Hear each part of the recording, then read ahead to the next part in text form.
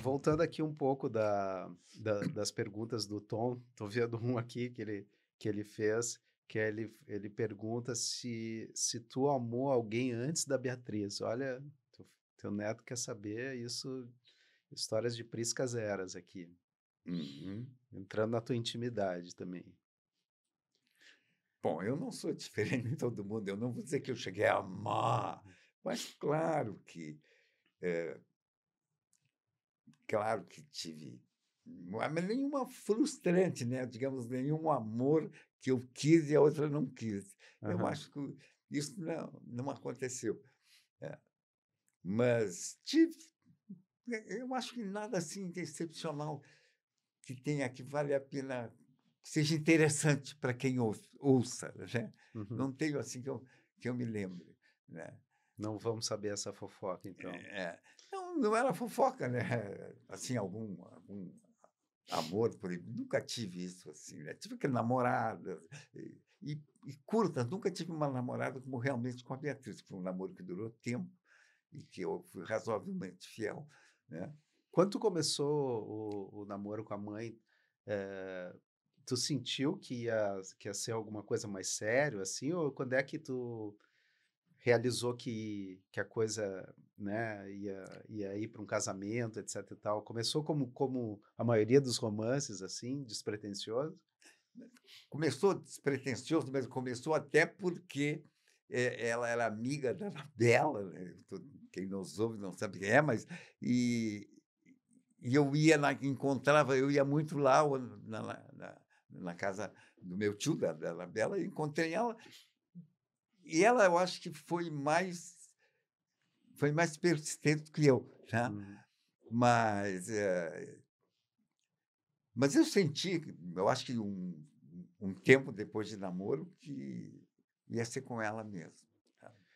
Beleza. O, o Tom vai gostar porque ele ele também queria saber é, é uma pergunta bem cabotina. Se eu não fizer, ele vai, ele vai ficar chateado comigo, que ele, ele botou aqui o que você admira em seus netos, especialmente no único que é homem. é, é, é, Olha. Não, eu, mas não dá muito moral para ele que. Não, mas eu também não posso ser muito. o, o, o que eu. O, o que, digamos assim, o que me contraria nele, vou começar por aí, tá? É digamos, às vezes a falta de persistência. Tá? Mas o que eu, que eu gosto muito dele é ele é muito afetivo, é, ele é muito generoso com a gente. Eu não sei se ele é assim com todos, tá? mas é uma qualidade.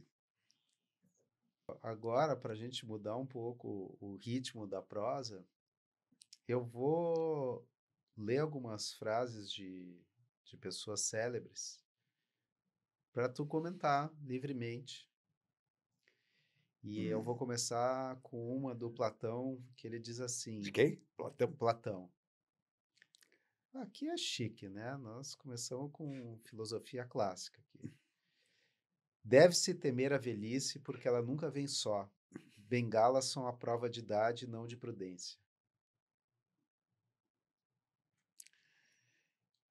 É uma regra, ele é uma constatação do Platão, de qual no momento eu não passo por isso. E olha que é, eu deveria estar, deveria estar passando. Na época, o Platão, nós estamos falando de quem fez, falou isso há, há mais de mil anos atrás. Mas. É, mas o que eu acho legal aqui nessa frase, comentando do meu lado, é que, para mim, ele está dizendo um negócio interessante, que a sabedoria não é compulsória da, da, da velhice, né? Não é porque tu é velho que tu é sábio. E, e eu acho que isso é uma, uma, uma coisa muito interessante de ser dita. Não assim. é, tem um ditado espanhol que diz que o diabo sabe mais por viejo que por diabo, contraria isso, né? Mas eu também eu estou muito mais com Platão. Uhum. Não acho que é o tempo que te torna. E eu acho até que o tempo te torna mais sábio até um determinado tempo. Mas à medida que tu vai envelhecendo mais, isso não perde um pouco é, essa questão da experiência. Tu quer te adaptar. Tu vê, estava fazendo uma entrevista comigo. Sei lá, eu já te disse que interesse terão as pessoas que me ouvir, mas tudo bem. Mas eu tenho uma idade que até eu, às vezes, me assusto com ela, né? Eu me lembro que eu possa ter pessoas que não tinham muito menos que isso, que eu achava que eram Sim. velhos demais. E, no entanto, eu, fa eu faço. É, tenho atividades né, sociais, vamos dizer assim, que, que, não, que talvez não sejam muito comuns e que me dá um, uhum. um prazer muito grande. Né? É. Acho que um pouco do interesse das pessoas em escutar isso é um por causa disso também. É. Né? é. De Porra. qual é que é desse cara que que escapou dos clichês da, da velhice, talvez, é. né? E, ou, as, ou se conservou a, a, ponto de poder curtir tudo isso. É um pouco, um pouco da, da importância que a gente dá, à questão de viver. Já que tu está vivo, tu está vivo, né? Eh, até onde vai as tuas possibilidades. E não ficar preocupado, ou uma coisa eu te dizer, em extensão da vida, entendeu? Quem sabe se eu saio menos, se eu faço não sei o quê, se eu estou mais... Né? Não, né? É, enquanto você tem... É, tu tem que, eu acho, né, de preocupar em, em, em, em, viver e, e, e, uma coisa importante que nem sempre a gente consegue é não se preocupar tanto do que aqueles que estão mais próximos vão pensar da gente. E outra coisa mais importante é não ficar também pressionados pelas preocupações que o outro tem contigo. Não sei se tu entende isso. Sim, né? sim. De ficar, bom, eu não vou fazer porque vai... Se pudesse dizer o nome feito, foda-se. O cara tem que viver. E isso não é muito fácil, hein? Quando tu chegar lá, vai, é, porque tu sente esse tipo de pressão. Como tu vai ser agora? É, uhum. Eu vou voltar para. Então, não tem. Assim, Sim, é, eu quero que todos fiquem tranquilos. Se acontecer alguma coisa, a responsabilidade é minha.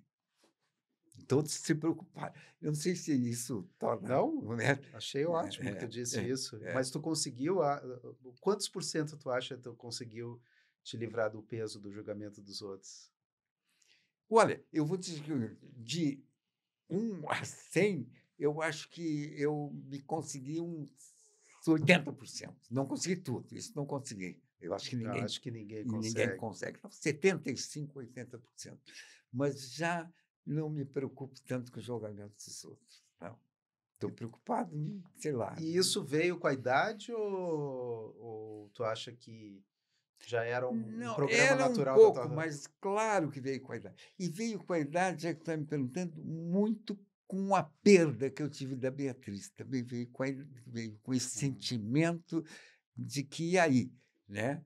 E já que eu estou, eu é, acho até que muitas vezes a gente faz coisas pensando que pô, ela gostaria que eu fizesse isso, né? Mas eu tenho que pensar bem que eu gostaria, que eu gosto, né? E que acho uhum. que ela até é, ela até bateria a palma, mas não é o que, digamos, é a minha Sim. preocupação maior. Quer dizer que esse tu acha que foi uma, a perda da, da mãe foi o teu momento de, de ruptura, assim, tu é, sentiu foi. isso mudar? Não, na... é, teve uma ruptura grande? Uma ruptura grande. A perda dela, pelo drama que tu viveu, e eu vivi mais intensamente também, é, faz com que a gente sabe que vai acontecer, que é irrefutável, né? a gente tem que racionalizar, e começa a, a, a, a ver a, a futilidade da importância que a gente dá a determinadas coisas. Então, é uma ruptura significativa, sabe? Uhum. É significativa de, e aconteceu isso muito foi com a perda da Beatriz, claro. E, porque não foi, como viu, não foi uma perda normal. Quer dizer, não, não sei se tem, não tem perdas normais, mas ela foi muito sofrida, mais por ela até da gente, da impotência que a gente se sente, de não poder uh, dividir aquilo, só tentar refazer. Foi importante, sim. Isso teve um aspecto teve um teve preponderância nessa ruptura. E isso tu chegou a racionalizar, assim, porque ela demorou entre a detectar o problema que ela tinha de saúde até falecer foram dois anos, né? Quase dois anos. Quase dois é. anos. E foi um tempo também que tu, aos poucos, foi te preparando, se é que existe, ou foi tendo a notícia de que, de que como tu disse, era, era inevitável, né? Ela, ela ia, ela ia acabar acontecendo, né? E aí, é, esse tipo de reflexão que tu está fazendo agora, ele foi aparecendo aos poucos, assim, ele se impôs? Como é que tu sentiu essa mudança Não, de, dessa apare... relação com a vida que tu está nos a contando aqui? A relação com a vida aconteceu muito mais quando perdeu. Uhum. Durante o tempo, sempre há uma expectativa que possa mudar, mesmo... Agora, quando tu passa a ficar, digamos, casado tantos anos, passa a ficar sozinho, realmente sozinho, não porque tu quis, mas porque a vida te impôs isso, né? Uhum. É. E, e, e, tu conhece, tu, tu, aí tu sente o afeto que tu perdeu. E as coisas que tu perdeu, tu, aí você sente. Né? Tu pode ter convivido depois com amigas, ter sido com ela, mas é, como era diferente com a, uhum. a, intimidade, o tipo de coisa, né? que se eu fosse querer ter com outra pessoa, eu levaria muito tempo até ter, entendeu? E com aquela estava. Era, Tinha uma construção. Não, ali, uma né? construção. Não vou me colocar numa posição também que eu. Que, que, eu, que não teve discussões ou que teve problemas, como todo casal tem. Mas quando acontece a perda, é, um, é, é, é, dessa forma, né? não é uma perda que tu quer, é um negócio que a gente pensa nisso e, e, tem uma, digamos assim, uma outra visão afetiva da vida. Assim. E o que que tu acha que te fez não desistir da vida, assim? Porque tem muitos relatos de, de casais longevos, assim, que em seguida a outra pessoa vai embora e tu deu uma, uma demonstração de uma capacidade de, de querer viver, de amor à vida, de, de querer fazer não exatamente as mesmas coisas, mas muitas coisas que tu gosta. Olha, claro, não vou dizer porque eu estou na presença de vocês. Vocês têm uma razão também, né? Os netos são uma razão também da gente querer. Mas a, a, os amigos que a gente tem também são uma razão da gente querer viver mas a razão talvez que predominasse é eu mesmo, é a vida, é viver a vida, né? É, o tempo que você tem de, de, não vai ser muito diferente, porque vai ser diferente no sentido afetivo agora, mas viver a vida e, e, e tendo a noção dessa finitude da vida, é, mas não é uma coisa que eu penso, ah, um dia eu vou morrer morrer, morrer. Todo mundo morre. Até os amigos, quando contam alguma coisa, todo mundo morre. Vocês vão morrer também. Mas então não é uma coisa que me acompanha, assim, esse pensamento. Me acompanha, sim, é, que eu, é, coisas que eu, que eu gosto de fazer, que eu quero fazer e eu posso fazer. Porque a idade também ela te limita fisicamente coisas. Sim. Né? E tem algumas até que às vezes eu penso, pô, eu estou fazendo acima daquilo que eu posso, mas é bom, então foda-se. Então, uhum. Eu faço que me dá gosto, eu vou fazer. Mas que se fosse racionalizar, não, eu, não, isso não vou fazer. Não, eu, eu, eu não estou dando uma de bacana, estou dando aquilo que eu estou pensando. Às vezes o cara gosta de se, se colocar numa posição maravilha, que eu não sou, mas eu estou comentando frente a frente aquilo que eu, tô, que eu penso. Quer até me obrigou a pensar agora. Uhum. Essa, é, essa é. era a brincadeira. E, e onde é que está o, o, teu tesão hoje na vida? Quais são as coisas que, que te dão vontade de fazer? Olha, me dá tesão na vida a própria tesão. Uhum. É. Ter tesão ainda. Ter tesão ainda, já. Isso é um negócio que até às vezes me surpreendo e, e e acho muito bom. Acho que uhum. não é bom, acho, é, é, é um prazer que só é um prazer intenso. Cara. Tem uma vida erótica ainda. Tem, tem uma vida erótica. E a vida erótica não é só no momento que tu está tendo a Do vida ato. erótica, é não só do ato, tudo. É o, o antes também, que acontece mais do que o propriamente o ato. E isso também é Aham. um negócio que, que dá prazer. Não confundir nada com a vida que o cara já teve. É, não, não há comparação. Se, fosse, se eu fosse fazer uma comparação, não teria Sim, sim. seria incomparável. Mas, eh, digamos, no- uma nova situação e, e é uma, uma coisa que eu gosto. São coisas que eu gosto. Essa história de futebol, sei lá, mas não se compara com esse tipo de prazer. E de ter, de consegui-lo ter. Talvez Uhum. tenha que fazer um sacrifício, mas o sacrifício é melhor. O sacrifício compensa. assim. Não sei até quando, né? Mas enquanto. Ninguém sabe até quando Ninguém nada. sabe até quando nada. Então, também não tem essa preocupação assim. Legal. É. Eu, eu preciso, no mínimo, fazer uma pausa, que eu preciso ir no banheiro, porque eu preciso fazer um xixi. Quer ver, Eu estava comentando, se eu posso estar repetindo, e tu é que me fez a pergunta, tu é que me disse que eu disse, e eu acho até que eu fui feliz em dizer quando eu disse que com uma amiga que eu saio, que ela é o meu presente, mas eu não sou o futuro dela, eu acho que eu fui feliz porque diz muito essa coisa. Uhum. Como é que eu enxergo, até para ela também, né? Uhum. o, o- o que terá para ela pela frente o que eu estou tendo. Eu acho que, que Tu ela- resumiu bem. Não, é uma boa, É, é uma boa é- frase. é- É, uma eu- frase lapidar é, essa. não, eu acho que eu disse muito. E é assim que eu penso em relação Uhum. mesmo, sabe?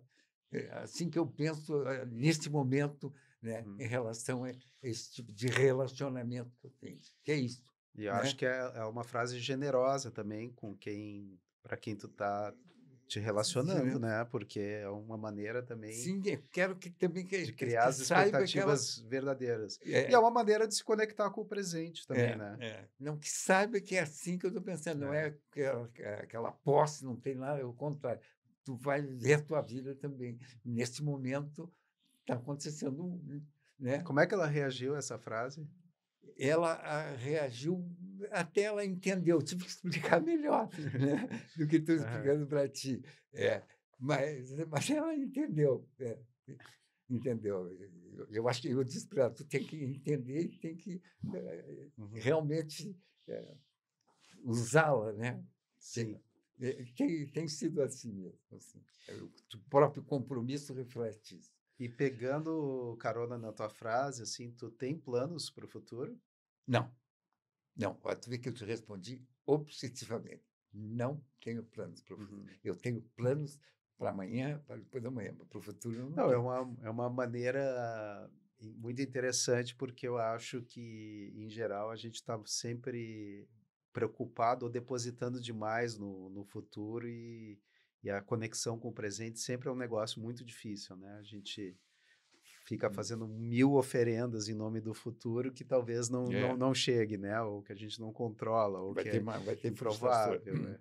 É, as- excesso de preocupações com o presente, mas é, com uma vida longa como a tu teve, né, é inevitável ter muitas perdas.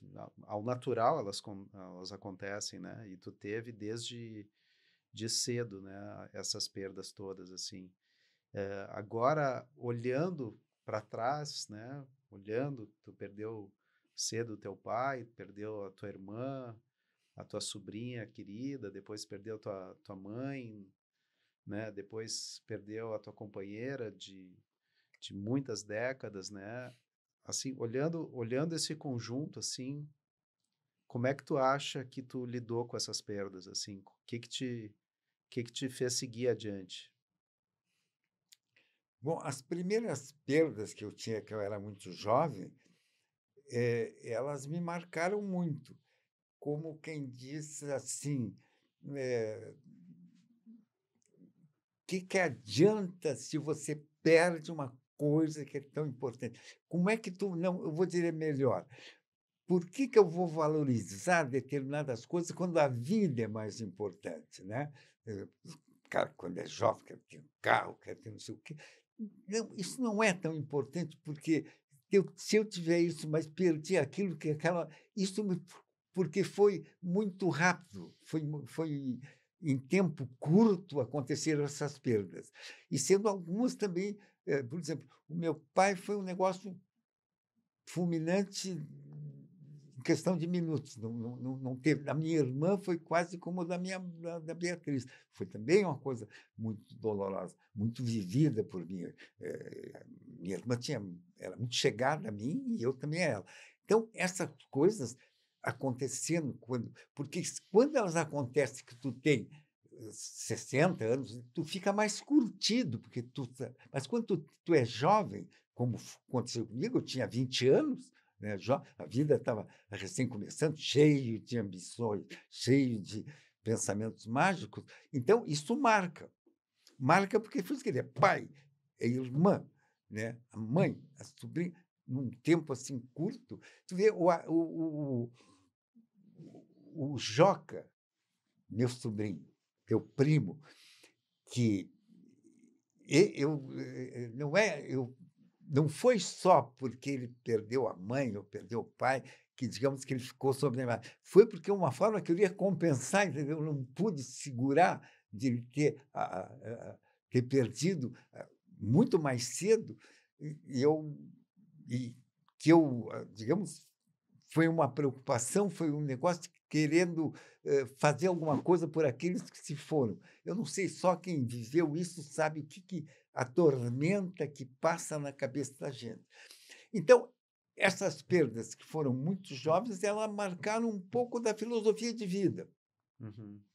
Isso marcaram, assim, de você ter, né, por exemplo, muitas vezes me aconteceu, o pessoal até assim, de eu ganhar dinheiro em alguma coisa e gastar logo em outras coisas. Como que não guarda? Porque eu achava, naquela época, pelo menos, que, que aí, né? Que, guardar para quê? Guardar para quê? Né? Para que vamos aproveitar. O que eu queria, não, com o dinheiro eu não faria. Então, talvez numa cabeça mais jovem como eu tinha, essas coisas ficaram tumultuadas.